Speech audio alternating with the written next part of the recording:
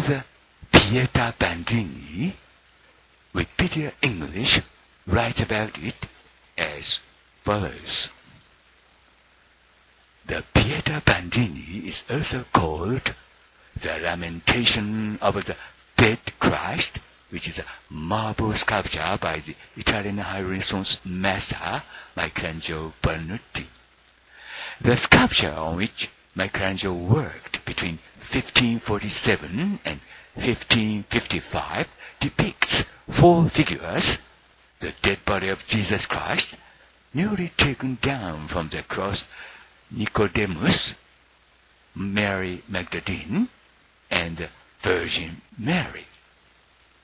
However, is this explanation or is what is written here really correct? バンディーニのペータ像について、ウィキペディア英語版は次のように書いています。ミケランジェロが1547年から1555年にかけて彫刻した作品である。ここにはイエスの死体と十字架からイエスを下ろしたニコデムス、マグダラのマリア、それに聖母マリアの4人が表現されている。ここに書いてあることは、つまりこの説明は本当に正しいのでしょうか広島市 Hamama City, Japan, February the 26th, 2024.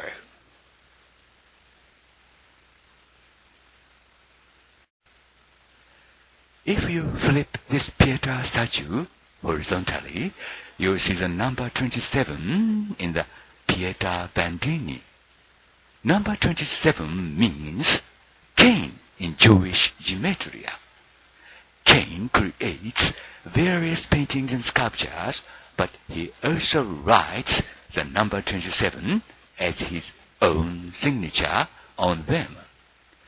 As I will explain in this video, it indicates that the Pieta Bandini is also a work of Cain, Cain the Christ. And then, the three people represented in the statue of Pieta are Lazarus and his sisters Martha and Maria of Bethany, or Jesus' wife. Or who else can you think of? このピエタ像を左右反転してみると、そこには ダヴィンチの書体で27という数字が現れてきます。27というのはユダヤのゲマトリアではカイン、カイン、キリストを意味します。カインは様々な絵画、彫刻を制作しましたが、それらの制作物の中に自らの署名として27という数字を書き残しました。それについては、この動画の中で続いて説明しますが、このバンディーニのペーター像もまたカイン、つまりカイン、キリストの作品ということになります。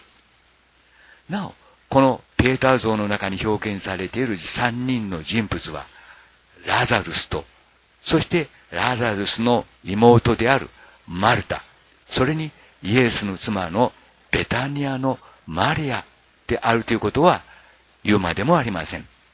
あるいは、他に誰が考えられますか？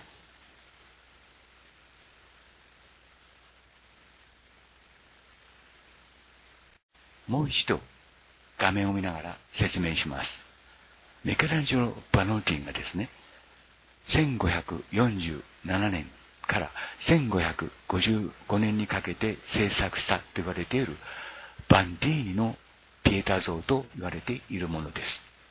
で、このバンディーニのピエタ像は本当にミケランジェロが制作したものなのでしょうか私、林印はミケランジェロ・バノティ、そしてレオナルド・ダ・ヴィンチの作品は全てカイン・キリストの作品であると判断しています。となると、このバンディーニのペータ像もカイン・キリストの作品ということになります。その証拠はあるかということになります。カイン・キリストは自分の作品を残すにあたってですね、27という数字をそれぞれの作品の中に残しました。例えば、えー、モナリザの絵の中にも27という数字が書かれています。そして、まあ、ダヴィンチと、それからベロッキョの合作と言われている時代国史の絵の中にも27という数字が書き込まれています。他にもいろいろあります。ともかくもこのバンディーニの像をですね、左右反転してみるとですね、そこにはこのように27という数字が現れてきます。ただしこの2と7はですね、ダヴィンチの、つまりはカインということになるわけですけども、ダヴィンチの書体で書かれています。ダヴィンチ、まあ、残っているダヴィンチの書体で見るとですね、まあ、ダヴィンチイコールカインですけども、カインの書いた書体を見るとですね、2はどこか S に近い2になっています。それから7は日本語のく、もしくはへに近い書体になっています。そうした書体をですね、このバンディーニのピエタ像に当てはめてみるとですね、ここに書いてあるのは、まさに27という数字ということになります。もう一度皆さんに確認していただきます。左上がですね、まあ一応ダヴィンチイコール会員キリストですけども、会員キリストが書いた数字ということになります。この中でも特に2と3、7ですね、に注意してください。2と7です。で、2はですね、あの、まあ、ダヴィンチなる画家はですね、時々言ってきますか、左右反転した文字を書いていたわけですけども、まあ、それでもですね、2と7を比べて、まあ、2と7を見ていただくと分かりますようにですね、2はどこか S に近い字を書いています。7はですね、く、もしくはへの日本語でですよ、に似た字、まあ、鍵だけなんですよね。で、それをこの像の中に当てはめて考えてみますと、ここに2と7という数字が書き込まれています。つまりこの像もですね、会員キリストが制作したものだということになるわけです。まあ、もっともここだけを見るとですね、腰付けだというふうに思われるかもしれませんけども、他の作品、つまりミケランジェロ、あるいはダヴィンチの作品にもですね、の中にはですね、まあ、この2と7が書かれているケースが多いです。あるいは、会員キリスト自身の自画像ですね、自分の、まあ、署名代わりに右下、主に右下に書いてあるケースもあります。ともかくもこのバンディーニのデータ像もですね、ミケランジェロが彫刻してはいないという証拠の一つが、まあ、つまりこの27の中にあるということになります。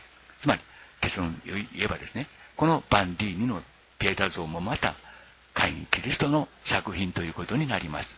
続いて、会員キリストの書面についての動画をつなげておきます。それを見ていただければですね、皆さんにも私がここで言ったことについてですね、納得していただけるものと思います。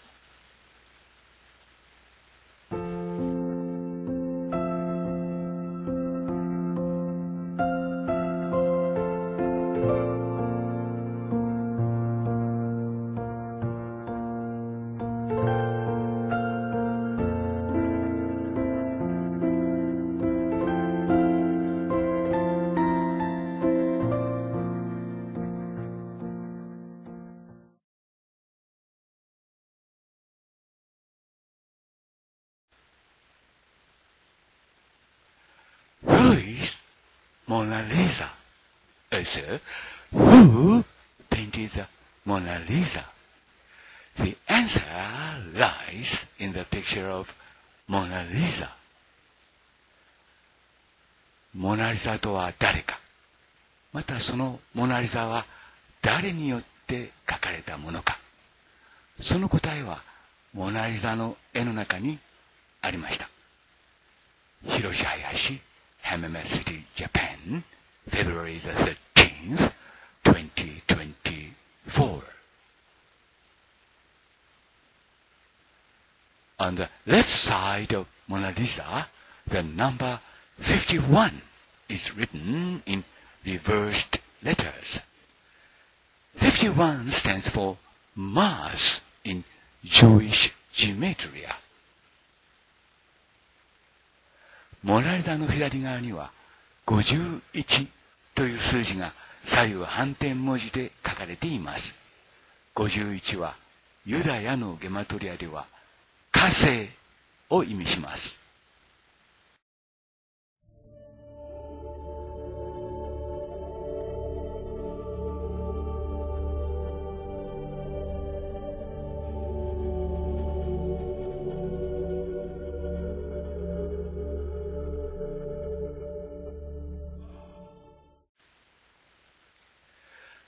Furthermore, another number 3 is written above 51.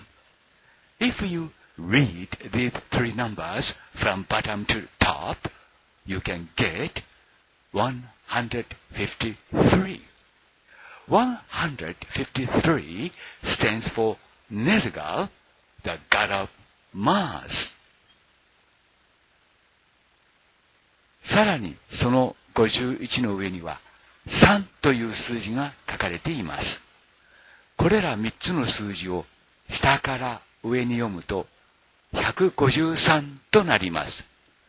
153は同じくユダヤのゲマトリアで解読すると火星の神ネルガルを意味します。There is also another number hidden in the picture of Mona Lisa.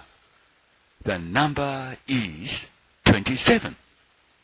Please have a look carefully at Mona Lisa's left arm. There are two numbers drawn on it. Yes, these are numbers. Compare the numbers 2 and 7 written by Leonardo da Vinci. Leonardo da Vinci wrote numbers in a unique font. そして、モナリザの絵の中にはもう一つ数字が隠されていました。27という数字です。モナリザの右の、つまり、モナリザの左腕を注意深く見てください。そこには二つの何か数字のようなものが書かれ書かれています。が、これらは数字です。ダヴィンチの書いた数字の2と7の書体と比較してみてください。ダヴィンチは独特の書体で文字を書いていました。27 means Cain in Jewish gematria. 27はユダヤのゲマトリアではカインを意味します。Cain has painted various works and he has painted them with his own signature. That is 27. I, Hiroshi Hayashi, will explain more about these facts later, but when you put these numbers together, you can get this conclusion. 会員は様々な作品を書き残していますが、それらの作品には自分の署名を書き込んでいました。それが27です。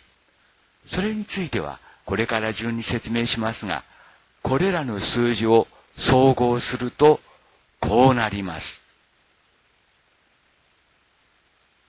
Mona Lisa is Nergal, the god of Mars, and the painter of this picture is Cain. It means that Cain painted the picture of Mona Lisa. モナリザというのは火星の神、ネルガルです。と。そして、そのモナリザを描いたのは、私、カインです。と。repeat. Mona Lisa is Nergal, the god of Mars, and the painter of this picture is Cain. It means that Cain painted the picture of Mona Lisa. モナリザというのは火星の神、ネルガルです。そして、そのモナリザを描いたのは私、カインです。と。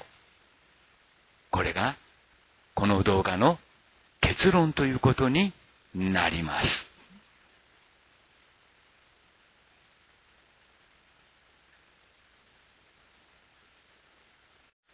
最初から画面を見ながら説明します。モナリザです。このモナリザは誰をモデルにして描いたか、また誰がこの絵を描いたかということですね。で、このモナリザの向かって左側を注意深くご覧ください。そこには数字として読み取れる数字がですね、51とあります。注意深くご覧ください。51です。51はですね、左右反転文字、すなわち鏡文字で書いてありますから、それを一度拡大して左右反転してみます。すると、51という数字が浮かんできます。51というのはですね、ユダヤのゲマトリアで解読すると、火星、火星となります。51、今左右反転してみました。で、51となりますね。はい。51は、ユダヤのゲマトリアでは火星を意味します。つまり、まあ、つまりですね、ここは火星であるという意味にもなりますが、この数字にはもう一つの意味が隠されていました。それは51の上にですね、もう一つ数字らしいものが書かれています。この数字はですね、左右反転すると反転した文字になりますけども、つまり3ということになります。今反転してみました。元に戻したということですね。で、ここでちょっと注意していただきたいことはですね、この3の下にですね、ちょろんとこう、あの、下に棒が出てますね。まあ、つららのようにですね、3の下にちょっとこう、棒が出てますね。これは後で重要な意味を持ちます。つまり、ここに書いてあるのは3という意味になります。で、この上からですね、351となるわけですけども、この数字をですね、下から読み直してみます。すると、153となります。153というのはですね、ユダヤのゲマトリアで解読すると、火星の神ネルガルとなります。エンリルの息子のネルガルです。そしてネルガルの娘がイナンナ・マリアということになります。イナンナ・マリアの父親がネルガルということになります。つまりここに書かれているのは、ネルガールですよという意味になります。その証拠に、このモネアザネの背景にはですね、上から悟り蛇犬が書かれています。それもまた別のところで証明します。で、その腕を見ていただきたいんですけども、むにゃむにゃむにゃと書いてありますね。で、これは何かということですけども、私、林博士は、これは数字であると判断しました。で、ここで注意していただきたいんですけども、ダヴィンチはですね、独特な、つまり彼自身の独特な書体で数字を書いていました。それを表にしたのはこの表ということになります。この表によればですね、特に2と7に注意してください。それから3にも注意してください。後で付け足します。で、2はですね、どこか S ですよね。あるいは、その、反転してみると S に近いわけですね。で、7はですね、日本語のく、もしくはへに近い字を書いていたということです。ここが重要です。いいですか ?2 は S のような字ですね。それから7はく、へのような字であるということです。この書体をですね、上のモナリザの左上の、まあ、手話に当てはめてみるとですね、ここに2と7があるのがわかります。つまり27と読めるわけですよね。じゃあ27とは何かということになりますけども、ユダヤのゲマトリアで解読すると、カインとなります。カインがこの絵を描いたというカイン自身の署名ということになります。こういうことを言うとですね、こじつけだというふうに思われるかもしれませんけども、同じ書体で同じように、例えば、いわゆるダ・ヴィンチとレオンアンドレア・デル・ベロッキョの合作と言われている受胎国地の右にも同じ書体で27と書いてあります。それから、えー、ラファエロも、えー、同じ書体で27という数字を書いています。と言いますか、ラファエロの絵もですね、それからアンドレア・デル・ベロッキョの合作と言われているあの受胎国地もカインが書いたということになります。それから時代がずっと下って19 19世紀に書かれたと言われている、えー、テリオ・テオドール・ジャンジェリ公のメデュース号のイカダの中にもやはり同じ、全く同じ書体で27と書いてあります。つまり、そうした絵はですね、カインが書いた絵ということになります。カインはですね、27という数字を書き残すことによって、これは私が書きましたという、まあ、つまりは署名を残したということになります。で、以上の、この3つ、この、この場面って言います。この今のこの部分でですね、この3つの数字を総合するとですね、こうなるわけです。モナリザというのは、ネルガルのことですよ、となるわけです。ネルガルは、マーズアイオン、火星の永遠の神と呼ばれていました。で、マーズ・アイオンの文字をですね、バラバラにして組み立て直したのがモナリザという名前になります。つまり、モナリザはマーズ・アイオンのアナグラムということになります。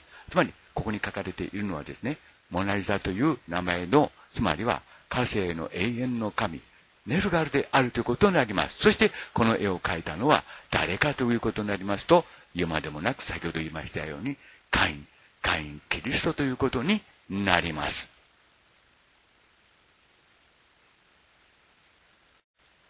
そして、一言付け足します。先ほど3に注意してほしいと言いましたね。で、その3を見てください。中央の上ですね。3です。で、ダヴィンチの書いた3を今度は見てください。右側がですね、ダヴィンチの書体です。この3の下にですね、つららのような、まあ、ものがちょんと下がってますね。つまり、この3はですね、ダヴィンチの書体で書かれた3ということになります。つまり、この351は、つまり、ダヴィンチ自身が書いた書体、つまり、カイン自身が書いた書体ということになります。この3に注意してください。つまり、異常がですね、決してこじつけではないという理由の一つになります。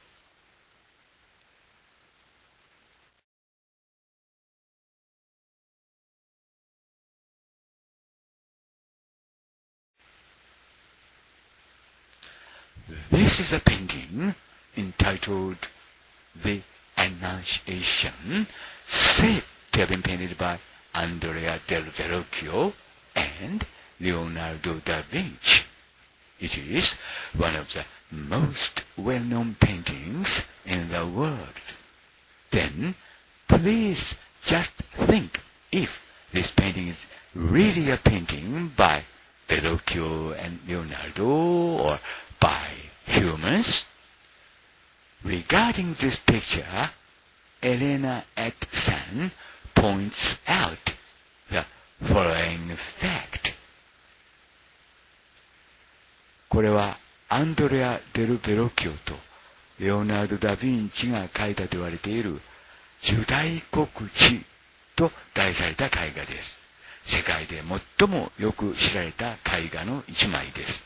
で、この絵は本当にベロキオとレオナルドによって描かれた絵なのでしょうか？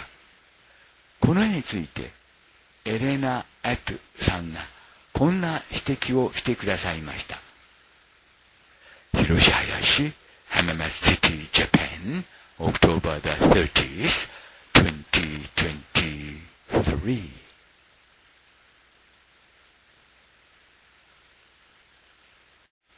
The skirt of the woman sitting on the chair on the right is unusually long. No matter how long the skirt is, there is no way it would cover the chair like this.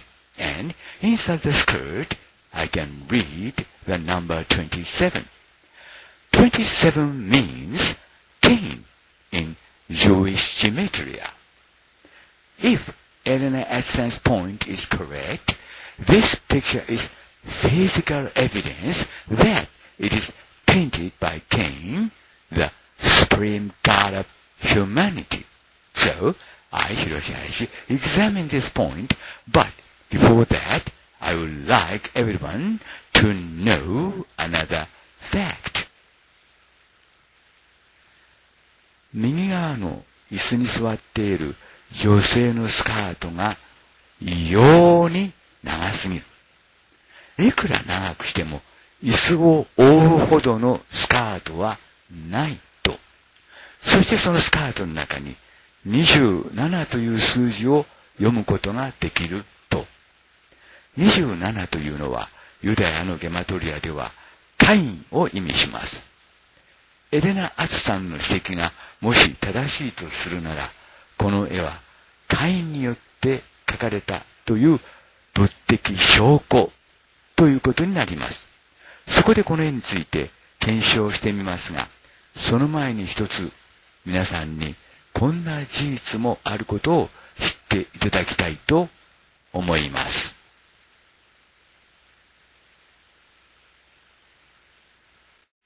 Leonardo da Vinci used a unique typeface to write numbers. These are numbers, but please pay attention to number 2 and number 7. あのレオナルド・ダ・ヴィンチは独特な書体を使って数字を書いていました。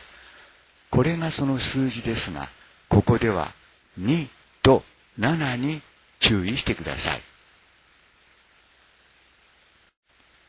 This shows that the numbers Leonardo was writing are quite different from the numbers we are used to using today. Number 2 looks like letter S. Also, number 7 looks like some kind of symbol. ダヴィンチが書いていた数字は、現在私たちが 見慣れた数字とはかなり異なっているということがこれでわかります。2は S のように見えます。また、7は何かの記号のように見えます。So, please have a look at the annunciation again. Those positions are slightly different from those pointed out by Elena S. San. I am also able to see the numbers 2 and 7 on this skirt. そこでもう一度、受胎告知を見てください。エレナ・アツさんがご指摘くださった位置とはややずれていますが、私もこのスカートの上に2と7を確認することができました。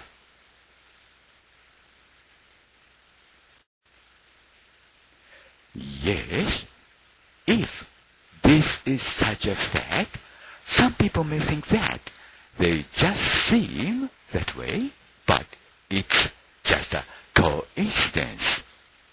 However, Eden Aslan also points out the number 27 in The Raft of the Medusa by Theodore Jangelico, which was painted in 1819, almost 300 years after the Annunciation.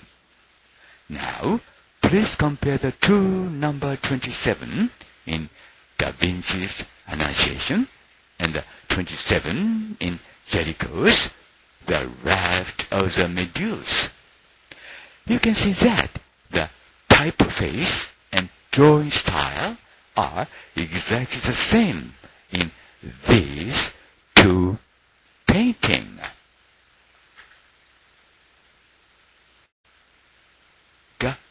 これだけの事実であるとすると、それらはそのようにも見えるだけ、 ただの偶然の一致だと思う人もいるかもしれません。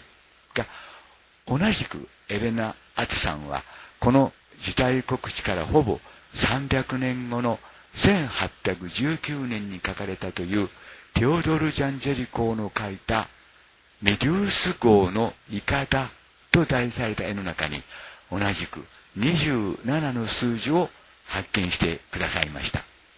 で、ここでダヴィンチの受胎国史の絵の中の27と、ジャン・チェリコーのメリウス号のイカダの中の27を見、比べてみてください。書体、書き方が全く同じであることがわかります。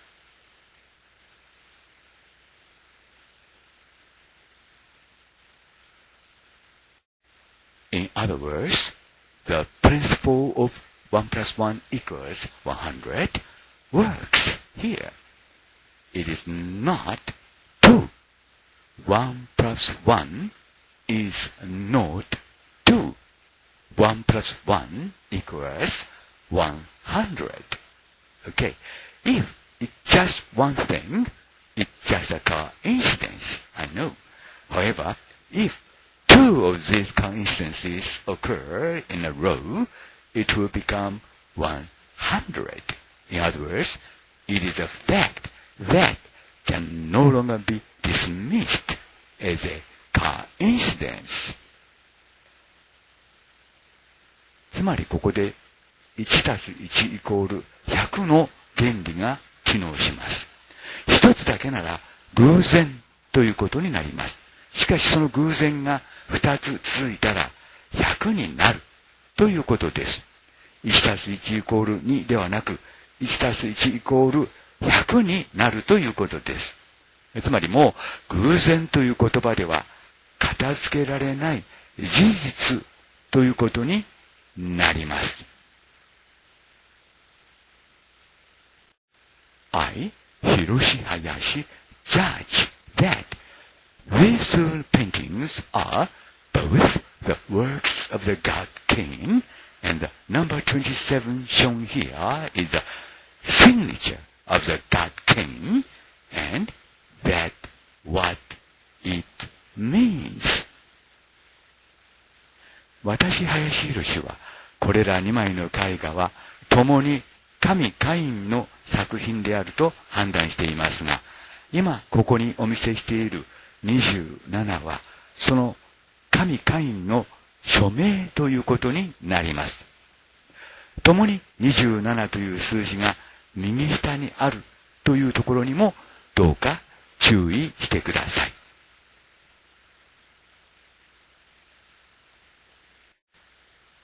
This method is also used by Michelangelo Buonarroti. For example, in the painting of the Battle of Cascina, Cain, the Christ, paints a self-portrait of himself in the same lower right corner, just like a signature as we do now.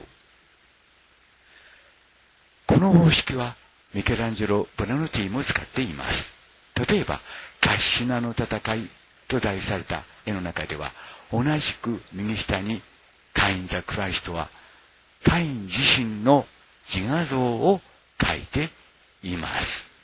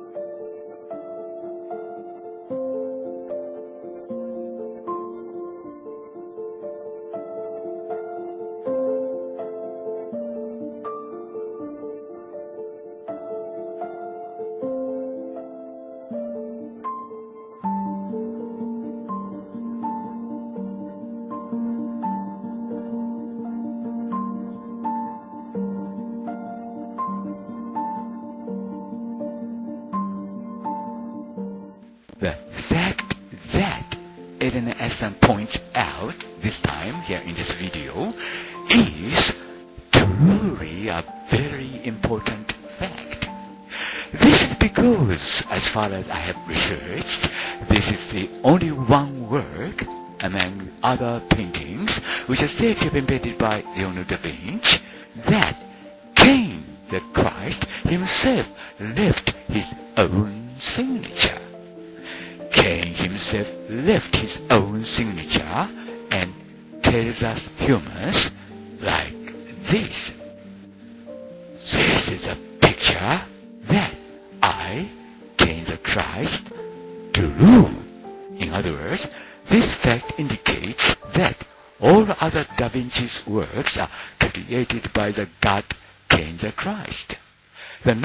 7 has such a significant meaning and this number itself shows that it is also important physical evidence of that meaning.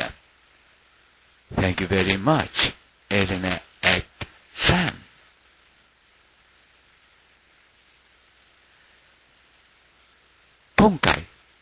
Elena まさに大変な事実です。というのも、私が調べた範囲の中では、レオナルド・ダ・ヴィンチが書いたと言われている作品の中では、カイン・キリスト自身がカインの署名を残した唯一の作品ということになるからです。27という数字はカイン自身の署名ということになります。カイン自身が自らの署名を残し、そしてそれを私たち人間にこう伝えたのです。これは私、カインが書いたものです。つまり、一連のダヴィンチの作品は、すべての作品と言っても過言ではありませんが、神、カインの書いた作品だったということになります。数字の27には、そういう重大な意味が含まれ、なおかつ、この数字がそれを意味する重要な物的証拠ということになります。エレナ・アジさん、どうもありがとうございました。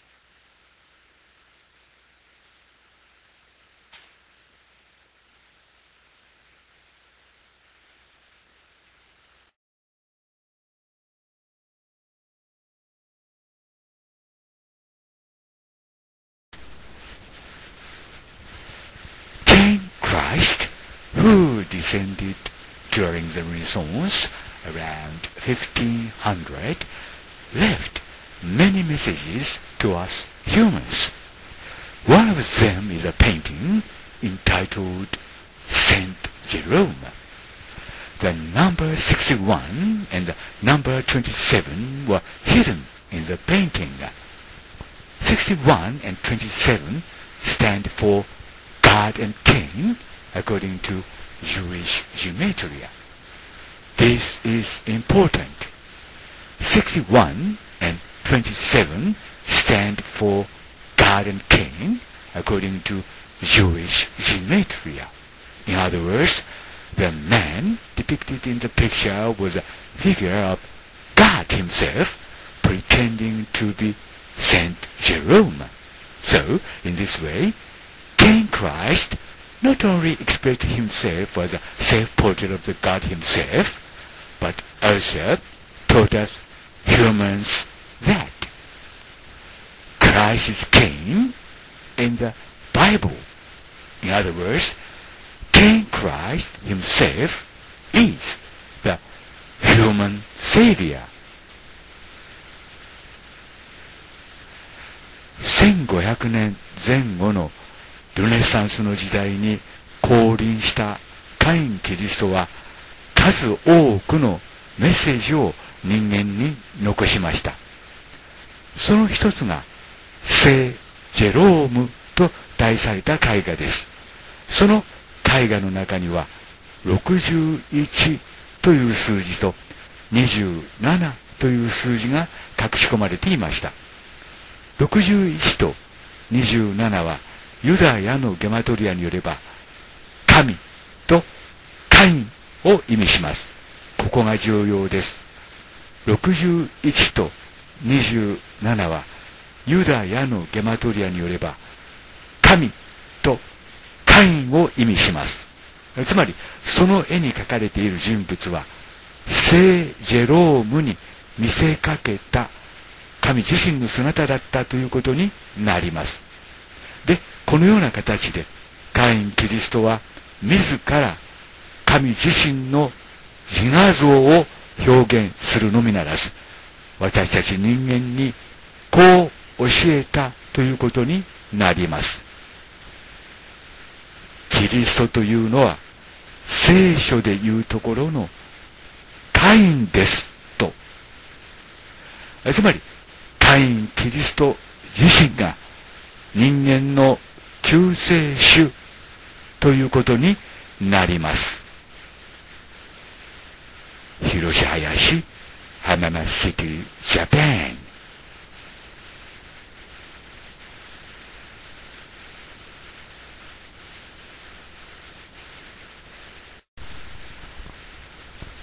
ンもう一度最初から画面を見ながら説明します。